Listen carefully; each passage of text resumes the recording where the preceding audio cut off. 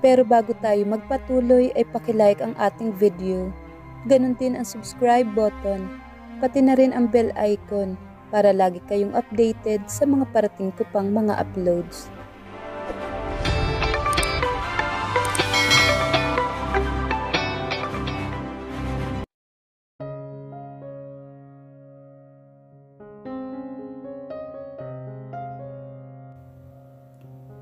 Santa Fe Bantayan Island, Cebu, 8 years ago. Okay na bang itsura ko, An?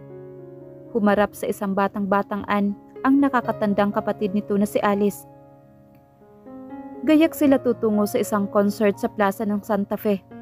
Malamang ay marami sa mga kabataan ng bantayan ang dadalo. Sikat ang banda na tutugtog ngayong gabi. Siyempre ate, parati ka kayang maganda. Nakangiting tugo niya. Wala nang halong pabubola iyon. Kilala sa buong isla ang kagandahan ng ate niya. Lagi nga itong nakukuhang muse o kaya Reyna Elena sa mga fiesta mula nang maging teenager ito. At ikaw, sabi nito, lumapit para yakapin siya. Ay manang-mana ka sa ate mo. Humagikhik ang magkapatid. Malapit na malapit sila sa isa't isa. Lalo at dadalwa lang silang natitira sa buhay matapos maulilan ng lubos. Namatay sa isang aksidente ang kanilang mga magulang. May apat na taon na nakakaraan. Ate, aniya habang nilalagyan ng ipit ang mahabang buhok. Totoo ba yung nabalitaan ko na nandito daw at nagbabakasyon sa isla si James Kuwangko? Kumikislap ang mga mata ni Anne. Sikat na personalidad ang binanggit niyang pangalan. Anak ito ng isa sa pinakamayayamang businessman sa buong Cebu. Madalas din itong laman ng balita, lalo na sa society, dahil bukod sa heredero ito ng imperyo ng mga kuwangko. Ubod ito ng gwapo at habuli ng mga babae. Kung paniniwalaan pa lahat ng chismis tungkol dito, ilang beses na itong nag-asawa, nagpaanal at nagkaanak sa edad na 21. Sabi nga, pero alam mo naman ang mga taga rito sa atin. Makakita lang ng gwapo sinasabi ng sikat Sagot ni Alice habang nag apply ng lip gloss. Sana makita natin siya. Umulat siya matapos isukbit ang strap ng sandals na suot. Iano kung makita natin ang James na yan? Nagtaas ng kilay ang ate niya. Wala lang, sagot naman ni Anne. Nagkibit ng balikat. Parati lang kasi tayong nakakulong dito sa tindahan. Wala man lang tayong nakikitang gwapo. Ang tindahan at karinderyang iyon ang kabuhayan nilang mag-anak. Noong nabubuhay pa ang mga magulang nila, ang mga ito ang nagpapatakbo niyon. Ngayong wala na ang mga ito, lalong kinailangan nilang puspusang maghanap buhay dahil marami pa silang pagkakautang sa burol at libing. Idagdag pa ang tuition niya. Nakatapos siya ng high school ng nakaraang taon. Ayaw naman niyang umasa sa ibang kamag-anak isa pa ay hindi nila alam kung saan hahanapin ang mga ito. Kung nandoon, edi baka makita natin. Halika na, malilate na tayo. Uwi ka ni Alice. Nagmamadali siyang sumunod dito palabas ng bahay. Halos puno na ang plaza na makarating sila. Nagagandahan ang mga ilaw sa entablado.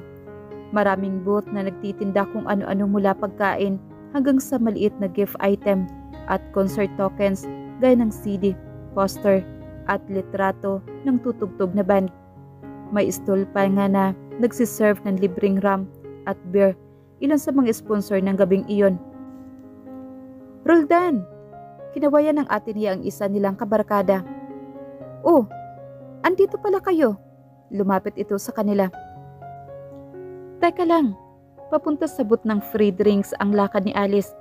Kuha muna tayo ng inumin. Ay oo nga pala, Ayaw naman ng lalaki. Ate dinlong muna ako sa bilihan ng soft drinks. Paalam niya dito. Huwag ka nang humiwalay. Tutol nito. E ayoko uminom ng beer. Ang pangit kaya ng lasa niyan. Lukot ang mukha na sagot niya. Mahirap maghanapan an. Giit nito. Sus ate, parang hindi ako taga rito. Tumirik ang mga mata niya. Sige na, pwede naman ako maglibot para hanapin kayo. Sige na nga. Bantulot na pagpayag nito. Ganito na lang, kahit anong mangyari, kung hindi tayo magkita pagdating ng alas 12, Doon na lang tayo magtagpo sa tapat ng simbahan para sabay tayong uuwi. Sige ate, sagot niya bago tumalikod para tunguhin ang nabistahan ng soft drinks. Pumili siya ng isang bote ng Mountain Dew at isang malaking pouch ng barbecue flavored chips. Pabalik na siya sa gitna ng karamihan nang pumailang lang ang announcement mula sa MC na nasa entablado. Sinundan iyon ng pagkalakas-lakas na hiyawan mga naroroon. Nagsimulang tumugtog ang banda. Busy siya sa pag-inom sa bote ng mabunggo siya mula sa likuran. Nasubsob tuloy ang nguso niya sa bote at ramdam na ramdam niya ang pag-slice ng ngipin niya sa kanyang upper lip. Saglit pa ay nalasahan na niya ang dugo na dumadaloy mula roon. Shit! Sorry miss. May concern sa boses na nagsalita. Humarap ito. Sus Mariosep, si James. Nasaktan ka? Hindi masyadong malinaw ang pagsasalita nito. Obvious na may tama na ng alak. Patuloy nito pinag-aaralan ang mukha gamit ang malikot na sinag ng ilaw mula sa stage. Napamura ito na makitang may dugo ang bibig niya. Hinawakan nito ang kamay niya at mabilis siyang inilayo sa kahit Pasuray-suray ito sa paglalakad. Nagtungo sila sa isang hindi kalayo ang tindahan na may maliwanag na ilaw. Manang, tawag nito sa naroon. Mayroon kayong ice? Meron, sagot ng tendera para kumpirmahin na may tinda nga itong yelo. Dalawang piso ang isa. Sige po manang. Muli itong sumulyap sa kanya at naglabas ng panyo. Um, okay lang ako. Nakuha niyang sabihin kahit pakiwari niya ay nawalang lahat ang laman ng kanyang ulo dahil sa pagkakalapit nila. Nakahawak ang isang palad nito sa kanyang pisngi habang maingat na ang dugo sa labi niya. Namamaga na tuloy, parang hindi siya narinig na saad nito. Sorry talaga, ang ganda pa naman ng lips mo. Tumalon yata ang puso niya sa sinabi nito. Baka kailangan mo nang bumalik doon? Tanong niya sa binata ng Matapos ang gamutan, nakaupo pa rin ito sa bangko katabi niya. Umiling naman ito. Ayokong iwan ka dito. Tsaka nagpapalipas din ako ng tama. Baka bumulagta na lang ako sa kalasingan. Gaano na ba karami ang nainom mo?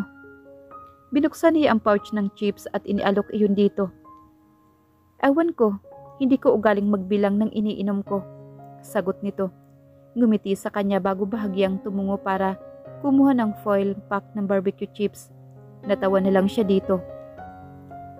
Gusto mo pang bumalik sa gulo? Itinuon nito ang namumungay ng mga mata sa kanya. My lord, hindi purong Pinoy si James Kuwangko. Bakit ganoon ang kulay ng mga mata nito? Hindi brown, hindi rin itim, kulay gray. Hindi niya iyon napansin na maaga dahil nang ginagamot siya nito ay nasa likuran ng ulo nito ang ilaw nang maupo naman sila sa bangko ay umiiwas siyang sumulyap dito dahil ayaw niyang maisip nito na pinagnanasaan niya ito. Napakakinis na mukha ng binata. Sabi nga, kutis mayaman. Pero hindi rin maikakaila ng lalaking lalaki ito. Malakas ang personalidad nito. Prominent cheekbones, straight nose, matitigas na panga na may bakas ng pagtubo ng balbas. Um, nauutal siya. Medyo tinatamada kasi ako. Nagkibit ito ng balikat. Unless may mga kaibigan ka na naghihintay sa iyo doon. Umiling naman si Ann. Ihahatid na kita. Tumayo ito at iniabot sa kanya ang mga kamay para alalayan siya. Saan ka nakatira? Bahagya siyang nataranta. Ito na ang kumuha sa kamay niya nang hindi siya kaagad kumilos. Ha? Eh, ikaw, wala ka bang kasama? Meron pero okay lang yun. Inakbayan siya nito at iginiya palayo sa tindahan. I'm sure hindi nila mapapansin na wala ako. Naiilang siya. Naiilang na kinikilig. Walang kaalam-alam sa kung ano ang dapat gawin sakaling makasama ang lalaking lihim na itinatangi. Gaya ngayon. Um, James? Aniya, pasimpleng kumakala sa pagkakaakpay nito. Okay na ako, kaya kong umuwi mag-isa. Hindi ba delikado? Kunot noong tanong nito. Hinigpitan lamang ang kamay sa kanyang balikat. Taga rito ako. Kilala ako ng mga tao. Nanigas siya na maramdaman ang pagdulas ng kamay nito pababa sa kanyang bisig. Hinawakan nito ang kanyang kamay. Sorry, kanina pa tayo magkasama pero hindi ko pa pala na itatanong ang pangalan mo. Humarap ito sa kanya, nakangiti. An, halos bulong lang ang pagkakabigkas niya dahil rumaragasa ang tibok ng puso niya. Ang mukha nito ay mas lalong nagiging malapit sa kanya. An Morales. An, anas nito. Di naman ang isa pa nitong palad ang kanyang pisngi.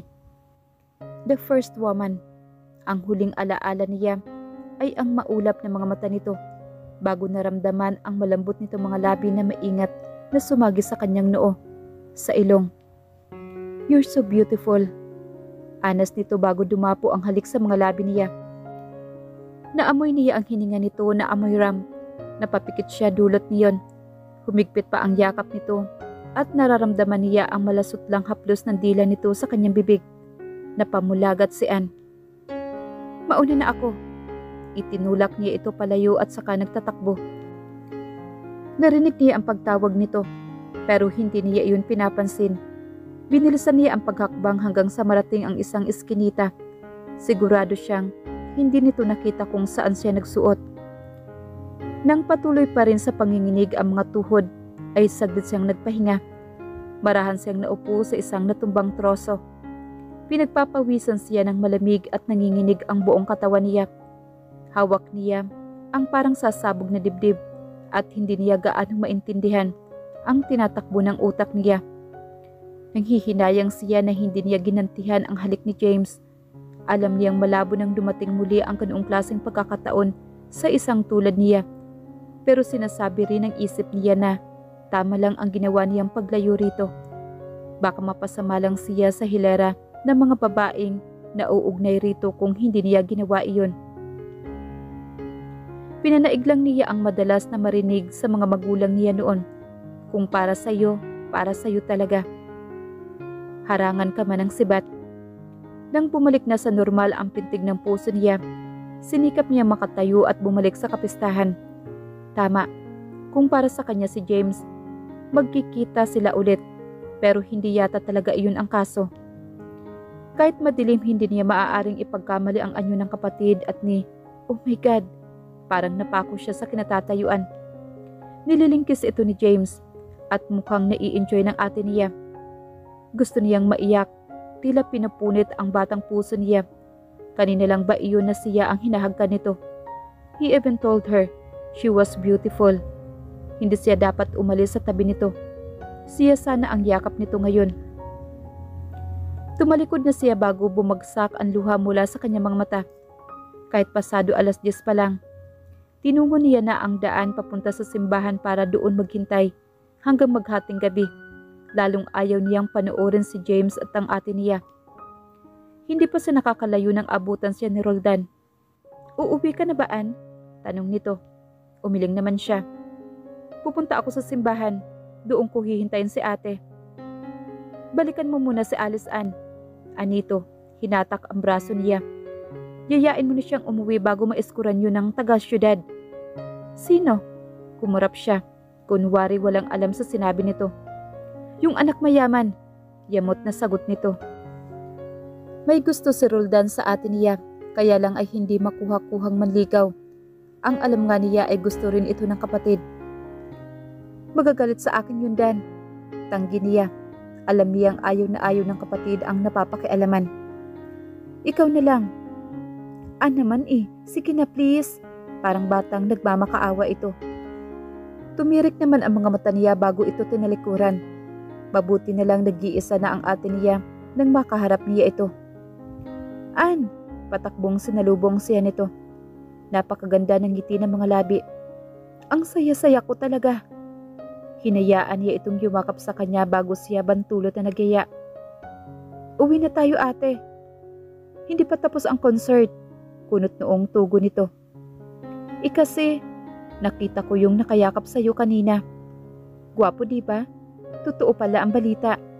Kinikilig na parang gusto nitong tumili. Mauna ka nang umuwi. Ihahatid na lang daw niya ako. Magpasama ka na lang kay Roldan. Pero ate, aniya, sinubukang humabol dito. Pero nakatalikod na ito. Hindi na niya naabutan ang nagmamadaling dalaga. Matagal siyang naiwang nakatayo lang doon bago nakuhang lumakad palayo. Hindi niya nakasalubong si Roldan o sino man sa kanilang mga kaibigan, kaya na naglakad siyang pauwi mag-isa. Tulog na siya nang dumating ang kapatid. Hindi nga niya maramdaman ang pagpasok nito sa bahay pero ginising naman siya dahil sa sobrang excitement. An, sabi niya babalik siya next week para kunin ako. Nakangiting balita nito. Ihaharap daw niya ako sa mga magulang niya. Sino ate? Itinanong niya iyon, hindi dahil gusto niyang marinig ang sagot. Baka lang sakali na iba ang sasabihin nito. Ngumiti lang ito ng misteryoso. Pero huwag kang mag-alalaan. Kahit dalhin niya ako sa syudad, sasabihin kong hindi pwedeng hindi ka kasama. Hindi kita pwedeng iwan mag-isa. Hinayaan niyang yakapin siya nito. Una para maramdaman na mahal talaga siya ng ate niya. Ikalawa ay para hindi nito makitang lumuluha siya dahil parang sinaksak nito ang nagsisimulang umiibig na puso niya. Lumipas ang isang linggo na walang taga-syudad na bumalik doon. Tumagal pa ng lagpas isang buwan ang kanilang paghihintay. Naging malulungkutin si Alice at si Kapin Manian na pagaanin ang pakiramdam nito na natili itong matamlay. Ilang araw pa ay nagtapat na ito sa kanya. Puntes ako an, lumuluhang sambit nito. Natigilan naman siya. Iyong kuwang ko na iyon ba ang ama? Tumango lang ito bago umiyak na sumubsob sa balikat niya. Sinungaling siya. Dadagdagan yata ang sakit sa puso niya. Galit siya sa lalaking iyon dahil iniwan ang ate niya. Nagagalit siya sa kapatid dahil madali itong naniwala sa pangako ng isang hindi pa lubusang nakikilalang lalaki. Nagagalit siya sa sarili dahil naroon pa rin ang pag-asa na siya ang gusto ng lalaking iyon. Pero hindi niya pwedeng biguin ang minamahal niyang kapatid. Wala itong kasalanan kung may pagtingin siya sa lalaking nangako rito. Tahan na ate, alo niya dito. Kaya natin ito. Hindi na sila muling nagbanggit ng kahit ano tungkol sa binatang taga-syudad. Hindi alam ni Anne na sa kanya pala mag-isang maiiwan ang responsibilidad ng pagtataguyod sa bata. Dahil pagkapanganak ay iniwan siyang ulila ni Alice, gayon din ang anak nito. Inisip niyang namatay ang kapatid dala ng pangungulila at awa sa sarili. Saan ka naman pupunta, James? Boses iyon ng amang si Arthur. Aalis. Tipid niyang sagot. Tumigil siya sa pintuan pero hindi lumingon dito. Uulitin ko ang tanong, saan ka pupunta? May bahid ng galit sa tono nito. Huminga muna siya ng malalim bago dahan-dahang humarap sa nagsasalita. Kahit saan dad, basta malayo dito. Pwede ka bang makausap muna bago ka lumabas? Itinuro nito ang library para sa hinihiling. Sinong kakausap sa akin dad? Bahagyang umarko ang kilay niya. Kung ikaw, wala akong problema. Pero kung may iba, Ki ako ang may pakay sa iyo o iba. Putol nito sa sasabihin niya. Pinakikiusapan kita. At kung ayaw mo ng pakiusap, consider this an order from your father. Napatiim ang kanyang bagang. The last time his father took that tone of voice with him, naikasal siya sa babaeng iyon. Walang imik na pumasok siya sa ginagamit nitong opisina. Hindi siya nagkamali Hinihintay siya roon ng babaeng iniiwasan niyang makaharap. Upo ka James, anyaya ng kanyang ina. Kasali rin pala ito. Wow! Sarkastikong komento niya. Ano ito? You're using my own family against me, Anne? James, babala ng kanyang ama. Hindi tayo magkakaharap-harap ngayon para mag-insultuhan. Fine. Inip siyang tumingin sa kanyang relo.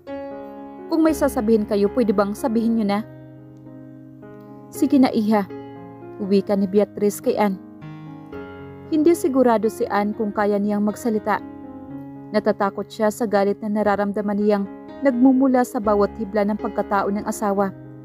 Natatakot siyang hindi niya maipaliwanag ng tama ang kailangan niyang sabihin dito. Natatakot siyang hindi siya nito patawarin at bagkus ay ibigay ang hinihingi niyang annulment. Higit sa lahat, Natatakot siyang kuhanin nito ang anak mula sa kanya. Hindi ko alam kung saan magsisimula. Ang mga mata niya ay puno ng pagsusumamo sa kanyang mga biyanan. Sabihin mo lang ang kailangan mong sabihin.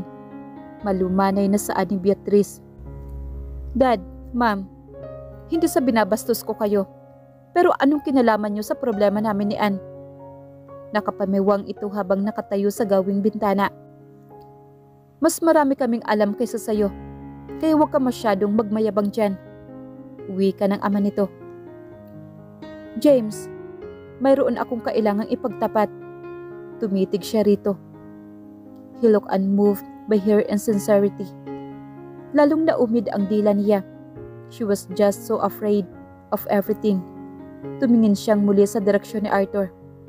Gumiti ito para palakasin ang loob niya. Um, Pinisil niya ang mga daliri para mabawasan ang takot na kanyang nararamdaman. Jesus Ann, ano na? Dumagungdong ang tinig ni James. James, hindi ko anak si Jam. Naibulalas niya bago napapikit. Tumungo siya. Ayaw niya makita ang reaksyon ng asawa. What the hell are you talking about? Lumapit ito sa kanya. Sinasabi mo ba na hindi ko anak si Jam? Umiling siya. No, Anak mo siya. Ang sinasabi ko, hindi ko siya anak. Wika ni Anne. James, sali ng ina nito habang iniabot sa anak ang isang pirasong papel. Malamang ay hindi mo pa nakikita ito. Hinablot nito iyon at saka tiningnan ang hawak. Birth certificate, iyon ni Jam. Si Alice Morales, ang nanay ni Jam, nakakunot ang noong tanong nito sa kanya. Sino si Alice Morales? Ate ko. Mahinang tugo naman ni Ann. Nanay ni Jam ang ate mo na si Alice. Nakikita ni Ann ang pagpintig ng pulso sa gilid na noon nito na hindi ko kilala.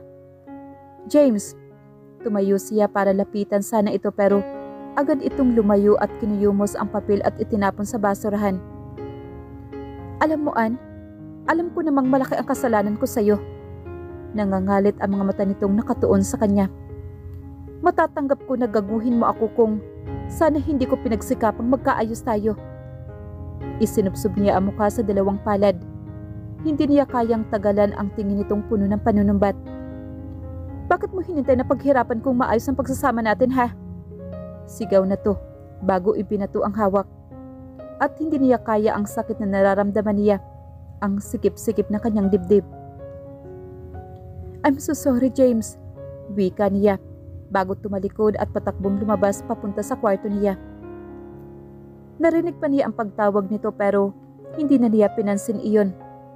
Lalo niyang binilasan ang paghakbang at nang marating ang sariling silid ay kaagad na nilak ang pintuan bago nang hihinang sumandal doon.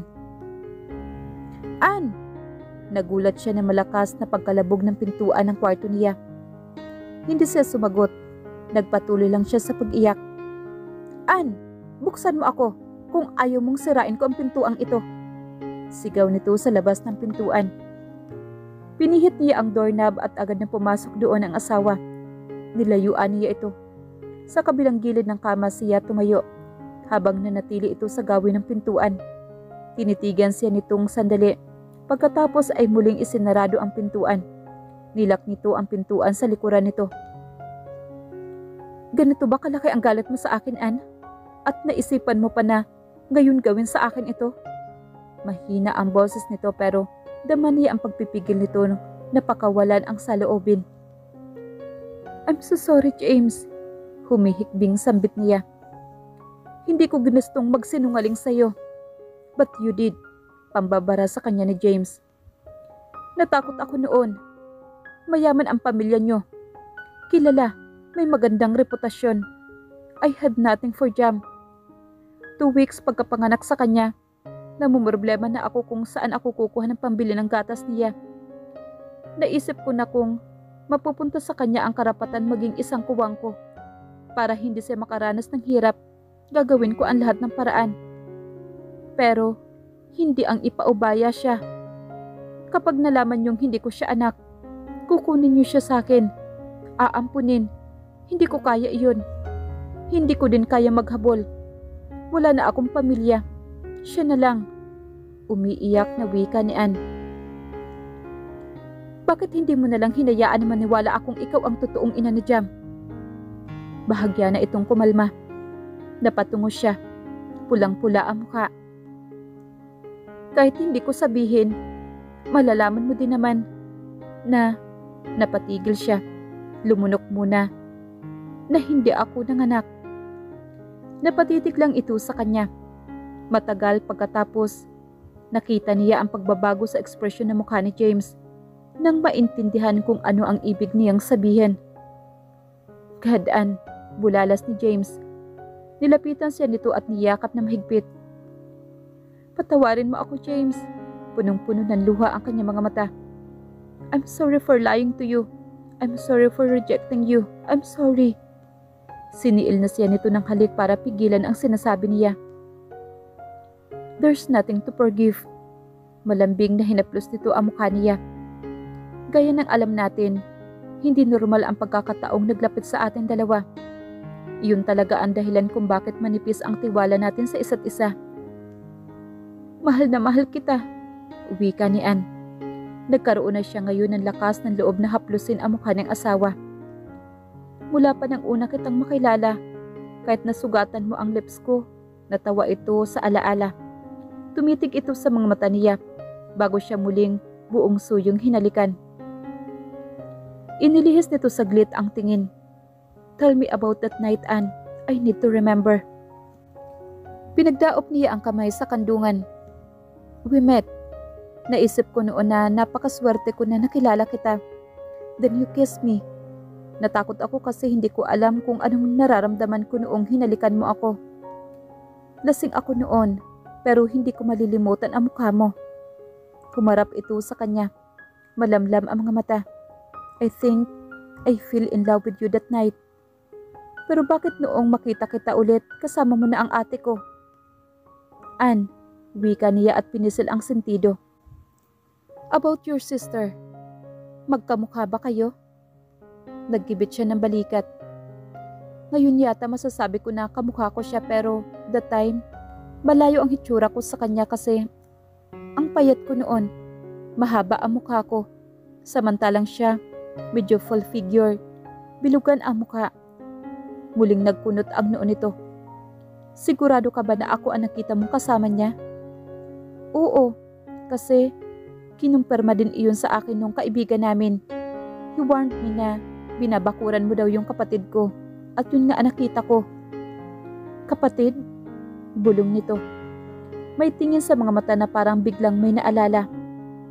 An, ang sabi ba sa'yo nung kaibigan mo ay ako ang kasama ni Alice? I mean, binanggit niya ang pangalan ko? Hindi yata. Naiiling na sagot niya. Bigla siyang naguluhan sa tinatakbo ng usapan nilang dalawa. Bakit? Hindi kaya si Jonas ang nakita mo? Napakunot ang noo niya. Jonas? Yung kapatid mo? Tumango ito. Posible kasi na mapagkamala na ako siya kasi magkahawig kami at kasama ko siya sa bantayan noon. Walang pinanggit na pangalan si ate. Masaya siya noon na nagkukwento tungkol sa nakilala niyang taga-syudad. Sinabi pa niya sa akin na babalikan daw siya ng lalaki para iharap sa mga magulang nito. Pero walang ganoong nangyari. Hindi na siya nagpakita ulit. An, kahit lasing ako noon, alam ko ang nararamdaman ko Inabot nito ang kanyang mga kamay. Gusto kitang hanapin ng gabing iyon dahil ikaw lang ang gusto ko. Hindi ko magagawang maghanap ng iba dahil lang tinakbuhan mo ako dahil natakot ka pagkatapos kitang halikan. It's just that naharang ako ulit ng mga kasama ko at lalong napainom. Bakit hindi ka na bumalik sa isla kahit kailan? My brother died in an accident that week after the holiday. Garalgal ang boses na wika nito. James, may katanungan sa mga mata niya. Hindi kaya ang kapatid ko ang ama ni Jam? Ngayon na nabanggit nito, naisip niyang posible iyon. Noong nalaman ko na buntis si ate, tinanong ko lang kung yung kuwang ko nakasama ni ang ama. I really thought na it was you. Kinumpirma niya. pagkatapos hindi na namin pinag-usapan ang tungkol doon. Niyakap siya ng asawa. Jonas mentioned something about an island girl na ipapakalala niya sa amin. Hindi ko noon naintindihan kung anong ibig niyang sabihin. I think minahal din niya talaga si Alice. Really? Natutuwa siya kung ganoon nga. Sayang lang at hindi nalaman ng ate niya. Nagkibit ito ng balikat. Wala tayong ibang paliwanag na mapanghahawakan. I'm sure na hindi ako ang ama ni Jam. Lalo't hindi ikaw ang ina. Hindi din naman posibleng hindi siya kuwang ko dahil kuhang-kuha ni Jam ang signature mark ng mga lalaki sa pamilya namin. Kahit kailan James ay wala akong isinisi sa iyo na kahit na ano. Inihilig niya ang napapagod na katawan sa balikat nito. I wouldn't blame you now if you did. Niyakap siya nito na mahigpit. Ngayon na nalaman ko kung anong hirap ang dinanas niyo dahil sa aming magkapatid. Ano kaya ang mangyayari kung nagkataon noon pa natin nalaman ang totoo? I know one thing for sure. Hinagka nito ang kanyang ulo. Nagtaas siya ng kilay patanong at hinintay itong sumagot. Kahit anong mangyari, patutunayan ko din sa iyo kung gaano kita kamahal. Hinding hindi ko pagsasawa ang gawin iyon. Muling namuo ang luha sa kanyang mga mata. This time, luha ng kaligayahan. Mahal na mahal kita, James. At hinalikan niya ang asawa. Maalab nitong tinugon iyon. Alab na dumadarang sa kanila. Naramdaman niyang unti-unti siyang inihihiga ng asawa sa naghihintay na kama. An, Anito, nakatitig sa kanya ang maulap na mga mata. Palagay mo ba, Pwede na natin pagbigyan si Jam sa hinihingi niyang bibi sister? Ngumiti siya at pinatunayan nilang mag-asawa kung gaano nila kamahal ang isa't isa. Nagising si Anne mula sa pagkakaidlip dahil naramdaman niyang may bigat na dumagan sa gawing hita niya. Sinundan iyon na mahinang boses na tila nagkukwento kasunod ng banayad na paghaplos ng palad nito sa limang buwang umbok ng kanyang pagbubuntis. It was James. Lumapat ang mga labi nito sa kanyang tiyan at humalik. Naging gawi iyon ng asawa mula nang malaman nitong magiging totoong magulang na sila. Mag-iisang taon na ang nakalipas mula nang ikasal siya sa isang magarbong seremonyas sa Cebu Cathedral. Sa Waterfront Hotel sa Lawag ginanap ang reception at sa Hong Kong sila nagtungo para sa kanilang honeymoon. Kasama nga lang nila si Jam dahil kasali ang Disneyland sa kanilang itinerary. James! Malat pa ang boses niya sa pagkakatulog. Oh, gising na pala si mama. Patuloy nitong pagkausap sa kanilang anak. Sandali lang baby, mag-hello lang ako. Kararating mo lang papa. Nakangiting hinagod niya ang buhok nito. Kani-kanina lang. Lumipat ito para mahiga sa tabi niya. Hindi muna ako pumasok dito kasi nagpapatulong pa si Jam sa project niya. Ah, oo nga. Kanina pag uwi niya from school, pinagdiskitahan na niya iyon. Imainit nga ang ulo dahil hindi niya maintindihan tapos hindi ko pa matulungan. Okay na? Naglalaro siya ngayon ng computer doon. Masuyong hinagan siya nito. Nag-dinner ka na? Umiling ito. Ayoko mag-dinner nang hindi ka kasabay. Minitian niya ito. He would always find time to spend with her kahit gaano ito kabisi sa opisina hanggat maaari umiiwas ito magbiyahe sa ibang bansa nang matagalan dahil ayaw nitong nalalayo sa kanya. Kung hindi naman maiwasan at kung okay ang pakiramdam niya, isinasama siya nito.